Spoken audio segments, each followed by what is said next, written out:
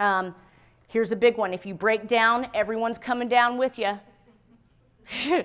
if you lose your mind and you're a hot mess, everybody's coming down with. You can't control everything that happens, but you can control your attitude and response that will determine the outcome. That's huge.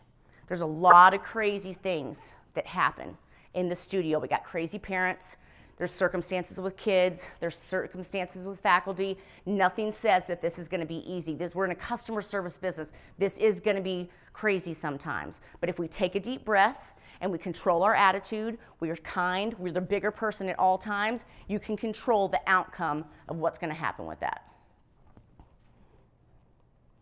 And here's the last one, and we're going to dig in a little bit more with this. Always try to lead with the utmost integrity, honesty, and kindness. And I feel like nobody will be able to fault you for that. You're just a good person. You are going to have some crazies. I had a mom write me this weekend, you guys, and, this, and the email started with, Wow, way to crush a teenager's dreams. Me, way to crush a teenager's dreams. I hope you're happy. With a, with a laughing cry face.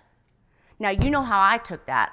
I immediately wrote her back because I'm going to stand up for changing lives. I'm going to stand up for what I believe in. I'm going to write her back and let her know that I'm a mother of two young girls, that I'm a Christian woman, that please let me thank you for th- first thank you for writing me. Let me please explain. Come to find out she's fond of the drink. She's fond of the pills and they have a problem with her. But it crushed me. And I know how you feel when you get those mean emails. But please understand that some people are a-holes. You know what I mean? And you can't control crazy. But I want you to always stand up for yourself and what you bring to that table because you never deserve to be walked all over. And some people just have to go sometimes. It's not fair to you.